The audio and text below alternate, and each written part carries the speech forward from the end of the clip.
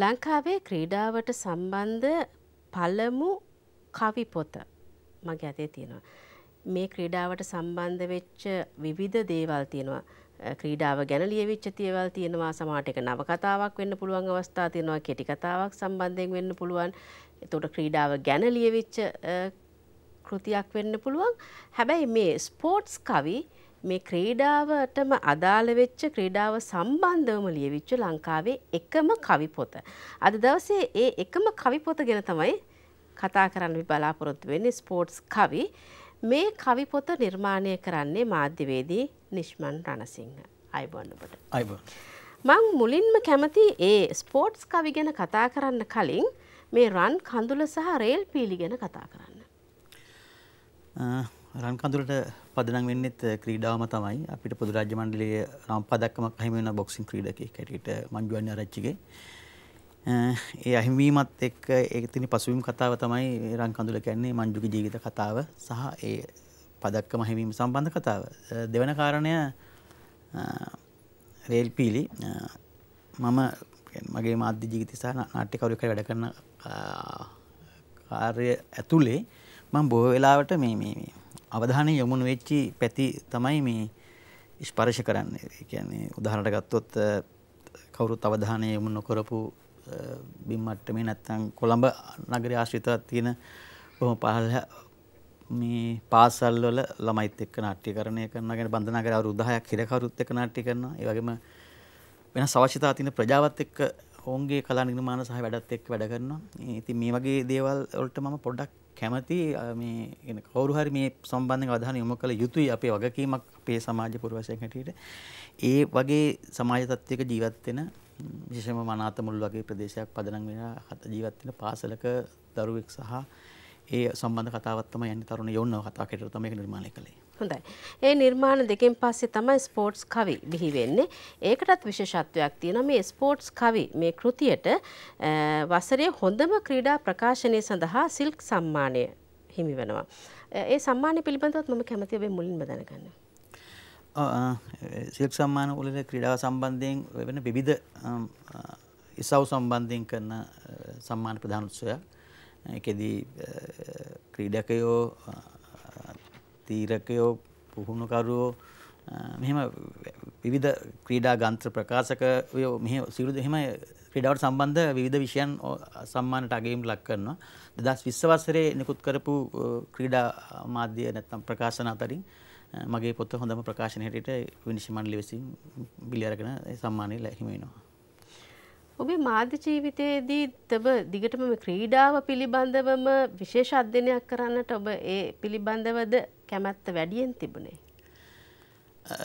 මධ්‍යකරුවෙක් හැටියට ප්‍රවේශය ලැබෙන්නේ රාවය පුවත් පතේ දෙහැම දෙයක්ම කරන්න වෙන නමුත් විශේෂ අවධානය ක්‍රීඩකෙක් හැටියට යම් අත්දැකීම් තිබිච්චි සහ ක්‍රීඩාව සම්බන්ධයෙන් මගේ ජීවිතය කොහොමත් මේ වෙන වෙනස් කියවීමක ඉන්න කෙනෙක් නිසා මේ විශේෂම වෙලා මංජුලි වර්ධන ඊට පස්සේ ලක්බිම පුවත්පතේදී රංජන් පරණවිතාන. ඒ අය වෙනස්කම් සඳහා මට ඒ පිටුවල බොහෝ ඉඩකඩ ලබා දුන්නා. ඊට පස්සේ සංස්කාර ක්‍රීඩා සංස්කාරයක් හැටියටත් යම් යම් පුවත්පත් වැඩ කරා මේ සංගරාවල එහෙම. ඉතින් මම වැඩි අවධානයක් යොමු කරන්නේ මේ ක්‍රීඩාවට. මොකද මේ මේ මං හිතන්නේ මේ මානව ජවය දැන් අපි හැමෝටම නැති මොකක්ද විශේෂ හැකියාව ක්‍රීඩකයෙකුට තියෙන මේ ශරීරය පාවිච්චි කිරීමෙන්. අපිට කරන්න බැරි දෙයක් ඒ කරන්නේ. ඉතින් ඒකට ඇගීමක් දෙන්න ඔවුන් ගැන හොයන්න ඔවුන්ට කොහොමද මාධ්‍යකරුවෙකුට උදව් කරන්නේ? සමාජ අවධානය උන්ට ලබා දෙන්නේ කොහොමද කියන කාරණා සම්බන්ධයෙන් අදටත් මට එහෙම දෙයක් තියෙනවා. මේ අපි දිව්වා ක්‍රීඩා කරා යම් ක්‍රීඩා. හැබැයි මේ ජාතික මට්ටමින් ලෝක මට්ටමින් දෙන දේවල් අපිට අපේ තියෙන හැකියාවට සාපේක්ෂව සලකා බලනකොට මට නම් මේ ශරීරේ මැජික් වගේ හොඳයි. දැන් අපේ රටේ තියෙන මේ සාහිත්‍යකරණය ගත්තොත් ක්‍රීඩා සාහිත්‍ය. දැන් ක්‍රීඩා සාහිත්‍යයේදී විවිධ කෘතීන් බිහි වෙනවා. විශේෂයෙන් අපි ගත්තොත් ක්‍රීඩාව පිළිබඳව විවිධ ක්‍රීඩා පිළිබඳව එහි නීති රීති පිළිබඳව සමහරලාට ඒවැ පුහුණු අවස්ථාවන් පිළිබඳ විශේෂාංග තරඟ මේ හැම දෙයක් ගැනම ලියවිච්ච පොතපත තියෙනවා. හැබැයි මේ ක්‍රීඩා කවි ගැන ලියවිච්ච පොතක් මට මුණ ගැහුණු පළවෙනි අවස්ථාව මට කියවන්න ලැබුණු පළවෙනි අවස්ථාව. ඔව් මම මම විශ්වාස කරන්නේ මගේ ක්‍රීඩා මාධ්‍ය ජීවිතයේ තුල මම කරන හැවඩකදීම උත්සාහ කරමින් ඉන්නේ මේ මේ මේ රටේ ක්‍රීඩා සංස්කෘතියක් නිර්මාණය කිරීම සඳහා අල්පමේ වශයෙන් හෝ මම දායකත්වයක් දක්වන්න කොහොමද කියන කාරණේ තමයි මගේ හිතේ හැවෙන්නේ වැඩ කරන්නේ. ඒ කියන්නේ අපි අසල්වැසි ඉන්දියාව ගත්තොත් විශාල ක්‍රීඩාව සම්බන්ධ සිනමාවක් තියෙනවා. විශාල සාහිත්‍යයක් තියෙනවා මේ මේ ඉන්දියාව රටක ගත්තොත් එimhe ලෝකෙත් මෙහෙම තමයි. අපේ එහෙම දෙයක් නැහැ. මම හිතන්නේ මේ මේ අපි හිතමුකෝ දැන් මේ ක්‍රීඩා නීති රීති පොත් ඉතා අදගත් ශිල්පීය ගුණාංග ඉතා වැදගත්. හැබැයි ඒ පොතක් පරිශීලනය කරන්නේ ක්‍රීඩාවට නියැලෙන කෙනෙක්ටම තමයි හරි වැදගත් වෙන්නේ. බොහෝ විට ඔහුට වැදගත් වෙන්නේ. හැබැයි ක්‍රීඩා කවි පොතක්, ක්‍රීඩා නවකතාවක්, ක්‍රීඩා සම්බන්ධ චිත්‍රපටයක් වෙනත් මේ විෂය ඒ විෂයට සම්බන්ධ පාර්ශවයන් විසින් ස්පර්ශ කරනවා. ඒ රසය සමහර වෙලාවට ක්‍රීඩාව සම්බන්ධයෙන් ක්‍රීඩාවට සම්බන්ධමයි කියන නැති පිරිසක් උනන්දු ඇති කරන්න හේතු වෙනවා. එහෙම උනන්දුවක් ඇති වුණාම තමයි ක්‍රීඩාව සම්බන්ධයෙන් සමාජය තුළ ඇති වෙන්නේ මේ මේ ඇල්මක් ඇති වෙන්නේ. ඒ ඇල්ම ඔවුන්ට ක්‍රීඩාව සම්බන්ධයෙන් තාක්ෂණය සම්බන්ධයෙන් හිතන්න පුරුදු කරන වැඩ පිළිවෙලක්. තම කෙනෙක් ක්‍රීඩාව සම්බන්ධයෙන් මේ ක්‍රීඩකයෝ දක්ෂයා ඉන්නවා පුහුණුකරුවෝ ඉන්නවා මේ සියලු දේවල් තියෙනවා. හැබැයි මම කියන්නේ ඒ වගේම මේ රසවත් නැනවත් දැනුවත් මේ මම කිව්ව මැජික් එක තේරුම් ගත්තු ප්‍රේක්ෂක පිරිසක්. පුරවැසියන් පිරිසකුත් රටේ ඉන්න ක්‍රීඩාවක් ඉහළට නංවන්න කියන කාරණේ. හොඳයි.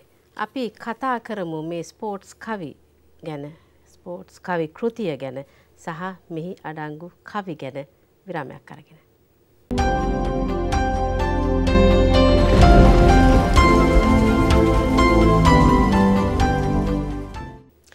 හොඳ විරාමෙන් පසුව යළිත් කතා කරන පොත්.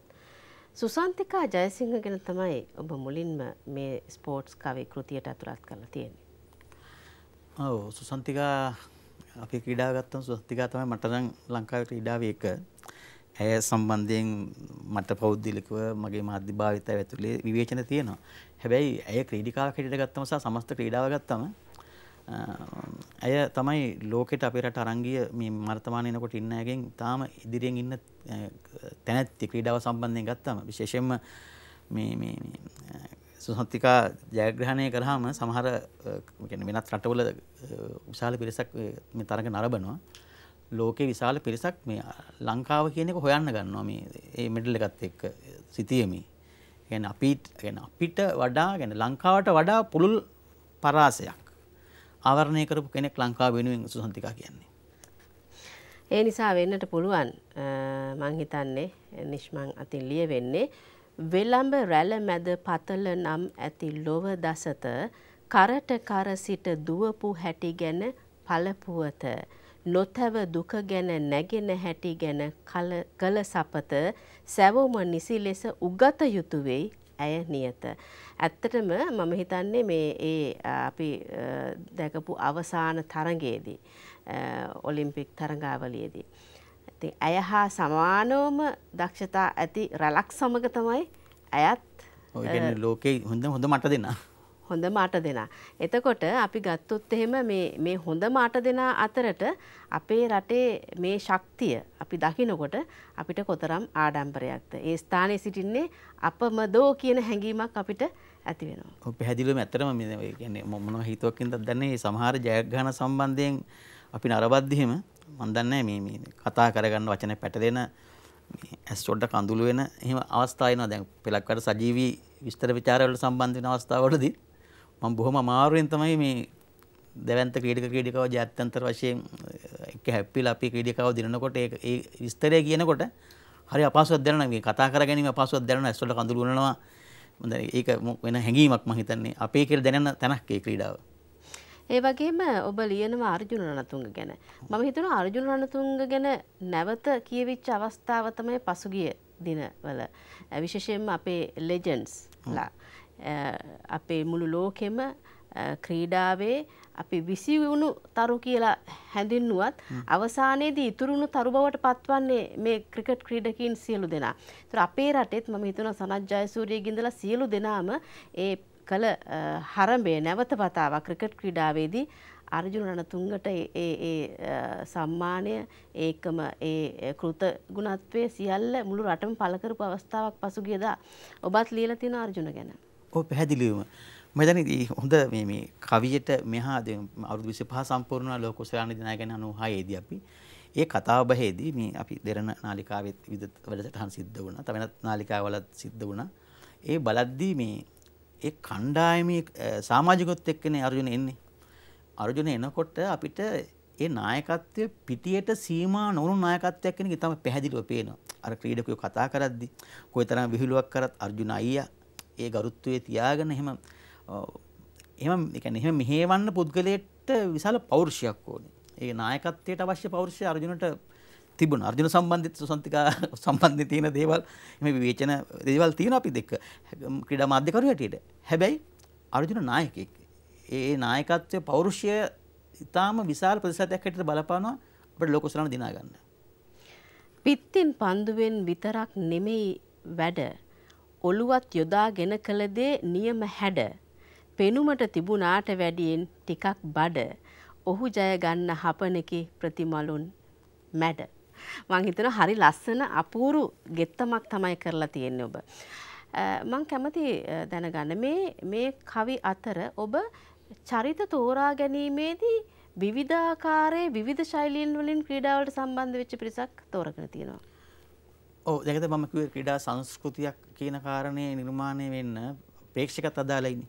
එතන පර්සි ඉන්නවා මගේ කවි පොත්. එතකොට මාධ්‍යකරුවන් හැටියට හරිත පෙරේරා, රංජන් පරණවිතාන මේ වගේ අය. එතකොට අභිප්‍රේරක හැටියට අපේ પરම්පරාවේ මේ බාතිය අර්ථනායක හේමසිරි ප්‍රනාන්දු හේමසිරි ප්‍රනාන්දු පරිපාලනය සම්බන්ධයෙන් ගත්තම මේ මේ විදිහේ ඊළඟ પરම්පරාවට යනකොට මම විශ්වාස කරන ලංකා මල්ල ක්‍රීඩිකාවක් ඉන්නවා ඉතා සුසන්තිකාගේ මට්ටමට යයි කියලා විශ්වාස කරන කෙනෙක්. මට ඒක මට මගේ මට දැනෙන හැඟීම සිලින්ඩා ජෙන්සන් මම හිතන්නේ ඇය තමයි අලුත් પરම්පරාවේ නියෝජනයට මම මේ පොතේ ඇතුළත් කරලා තියෙන්නේ. තව විශාල පිරිසක් මේ මේ ඔළුවේ තිබුණා. නමුත් මම ඔය කණ්ඩායම තෝරගත්තා. මේ එතන දැන් තව මම තවත් කාරණා බැලුවා වෙන පැත්තෙන් කතා කරන්න පුළුවන් කාරණා. දැන් උදාහරණයක් ගත්තොත් මේ මෙලින්ඩා මේ අපි අස්වාරෝහක ක්‍රීඩිකාවක් වෙනවානේ ජාත්‍යන්තරයේ අපේ රටේ නෙමෙයි අය මේ මිටිල්ඩා කර්සන් කර්සන් කියලා.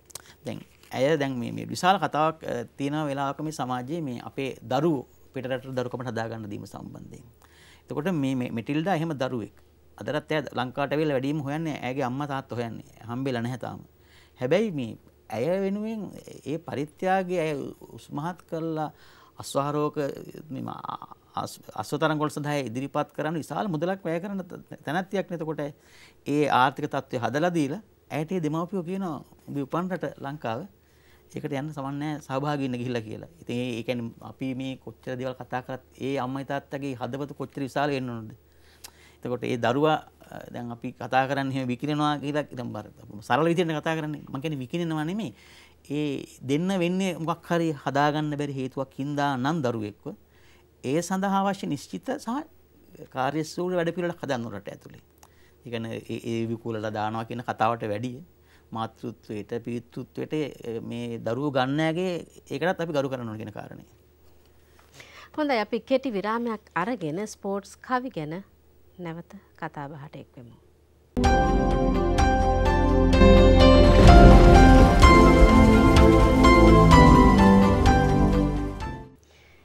ක්‍රීඩාව කියලා කියන්නේ හැම විටම ජයග්‍රහණය නොවේ. ජය පරාජය දෙකම එක ලෙස භුක්ති විඳිනට හැකියාවක් ක්‍රීඩාවේදී තියෙනට ඕනේ. අවසාන නිගමනය වන්නේ අපි කොච්චර දුරට ඉවසීම ප්‍රගුණ කරලා තියෙනවද දරා ගැනීමේ ශක්තිය තියෙනවද කියන කාරණාවත් එක්ක. මං කැමති දැනගන්න ඔබ සඳහන් කරලා තියෙන ලස්සන කවියක් ලංකාවේ පාපන්දුව ගැන. ඒ කියන්නේ දැන් මේක මේ මට හිතෙන්නේ පාපන්දුව ගත්තහම පණ තියෙන දෙයක් නෙමෙයි. හැබැයි මේක පෙරලා යනකොට මට හිතෙන මේක පණ තියෙන දෙයක් කියලා. මොකද අපේ රටේ පාපන්දුව කියන ගත්තොත් එහෙම නැගිටින, වැටෙන, පෙරලෙන, යලින් නැගිටින එහෙම අවස්ථාවක්. ඔබ ඒ ගැන සඳහන් කරලා තිනවා කවියකින්. ඔව් මේ කවිය යන්නම් ඉතර කන්දක ඉහළ සිට පහලට පෙරලෙන්න පහසුය නමුත් නොහැකිය යළි නැගගන්න. වෙහෙසිය යුතුව ඇත මුල සිට අරඹන්න කිට්ටුව තිබේ පාපන්දුව වැලලෙන්න. ඇත්තටම අද ලෝකයේ තියෙන පාපන් ශ්‍රේණිගත කිරීම වලින් අපි අනිත් පැත්තෙන් එක දෙක තත්ත්වයට පත් වෙලා ඉන්නේ. හැබැයි එහෙම දැන් අපි දකුණු ආසියාවේ ගත්තොත් මාලදිවයින වගේ රටවල් අපෙන් තමයි පාපන්දුව පෝෂණය කරගත්තේ. ඉතින් අද අපිට මාලදිවයිනට වැඩිය සිය ගාන පහල් වැටල තින්න අපේ පාපන්දුව ඒක තව ප්‍රශ්නයක් තියෙන ඇයි ඇයි දැන් අපි මානව සම්පත කළමනා කරණය කිරීමට වඩා දැන් අද විශාල පාපන්දු නිවසක් හැදිලා තියෙනවා. පාපන්දු මිට වැඩි විශාල වියදමක් දරන පාපන්දු. අපිට පේන්න තියෙන ක්‍රීඩකෝ ඉස්සරට වැඩිය පෝෂදාය ආහාර හම්බෙනවා දරන දාන පාවහන් පවා ඉතා අලුත් එහෙම ඔක්කොම ස්පොන්සර්ෂිප් හම්බෙනවා එහෙම තියෙද්දි මේ පාපන්දු වැටෙනවනම් මම හිතන්නේ පිට්ටනට හිතන දැන් අපි සාමාන්‍යෙන් අපි ජාත්‍යන්තරව ගත්තොත් යම් යම් ක්‍රීඩා ඉසව්වලට ක්‍රීඩා ශේෂත්‍රවලට ක්‍රීඩා අංශවලට විශාල මුදල් ගලා ඒමක් සිදු වෙනවා. දැන් මේ අපි දන්නා තරමින් ඉතාම හොඳින් දන්නා තරමින් මේ පාපන්දු සම්මේලනටත් විශාල මුදලක් ලැබෙනවා මේ අපේ ලංකාවේ මේ පාපන්දු ක්‍රීඩකින් වෙනුවෙන්. එතකොට මේ මුදල් කොහෙටද යන්නේ? කොහෙටද මේ ක්‍රීඩකීන් අතට කොහෙද මේ පරිහරණය වෙන්නේ? මොකක්ද ඔවුන්ට ලැබිලා තියෙන සහනය සහ ඔවුන්ට ලැබිලා තියෙන අවස්ථාවන්? ඇයි එහෙමනම් ඔවුන්ට සපත්තු දෙකක්වත් නැති තත්වයකට පත් වෙලා තියෙන කියන කාරණාවත් ගැටලුවා. නෑ ඒවත් තියෙනවා. මං භෞතික වශයෙන් සම්පත් තියෙනවා. හැබැයි දැන් ඔය කියන කාරණ ඉතා වැදගත් කාරණ කතා කර වසන්ති මේ මුදල් වැය කරන්න කොහටද? දැන් කොහටද යන්න කියෙන ප්‍රශ්තම අපිටත් තියෙන්නේ. අවශ්‍ය දේටද මේ වැය කරන්නේ කළමනා කරණය කියන කාරණය ක්‍රීඩාවේද ඉතාම වැදගත්. ඉතාම වැදගත් කළමනා කරණය කියන කාරණය එහෙම උනොත් තමයි ක්‍රීඩාවක් නැගිට නගිට්වන්න පුළුවන් වෙන්නේ. එක ක්‍රීඩකයාගේ දක්ෂතාවයන් තියෙන පුළුවන් පුහුණුකරුව දක්ෂයා ඉන්න පුළුවන්. හැබැයි මේවා කළමනාකරණය කරන්න ඊට උඩින් ඕනිම ආයතනයක් දැන් ඔබතුමිය ඉන්නම ආයතනය ගත්තොත් මාධ්‍යවේදිනියක් නැත්තම් අපේ කැමරා සහෝදරු සියලු දෙනෙක් ඉන්න. හැබැයි මේක හරි කළමනාකරණයක් නැත්තම් කරන්න ඕන දේ මොකක් හරි තැනකින් තීරණය වෙන්නේ නැත්තම් ප්‍රශ්නයක් නේ. ඉදිරියට යන්න බෑ. ඉදිරියට යන්න බෑ. එන්නේ කඩාවැටීම තමයි පාපොත් දකින්නේ. කියන්නේ මේ කඩාවැටීමේ මේ වැඩි ප්‍රසතියක් මං කියන්නේ පාපන්දු කල්පනාකරණය බාරගත යුතුයි. අපේ රටේ දක්ෂ ක්‍රීඩකයෝ ඉන්නවා. නැත්තේ නෑ. ඔවුන් වෙන තැන් වලදී දක්ෂතාව පෙන්නලා තියෙනවා. මේ තනියෙන් යන්න පුළුවන් ගේම් එකක් නෙමෙයි පාපන්දු කියන්නේ. එතකොට මේ තනි ක්‍රීඩකයෙක්ට කරන්න පුළුවන් වැඩක් නෙමෙයිනේ. ඒ ක්‍රීඩා පිටට බහින ක්‍රීඩක සියලු දෙනාම හරි විදිහට දක්ෂතා කළමනාකරණය කරලා එකට එකක් පාහන්න ඕනේ. මං හිතනවා අපිට ක්‍රීඩා සාහිත්‍යයේදී ඔබට මීටත් වඩා මම හිතනවා ලංකාවේ මේ ක්‍රීඩාව සම්බන්ධයෙන් මේ කවි ලියවීම මේ කවි සාහිත්‍ය ගත්තොත් එම ක්‍රීඩාවේදී හරි සුවිශේෂයි. මොකද කවිය තුළ තියෙන අපිට දැන් නව කතාවකින් අපිට පුළුල් පරාසයක් තියෙනවා අපේ අපේ කතාව කියන්න.